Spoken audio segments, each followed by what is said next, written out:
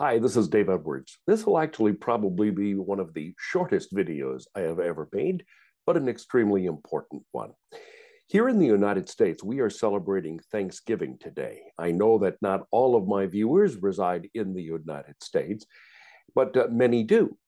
On this holiday, we gather with family and friends. And besides food and football, it also offers us an opportunity to think about all of the things and the people that we are thankful for. Whether you celebrate this day or not, I want you to know that I am very thankful for you and the support that you show me for my work. Have a great Thanksgiving.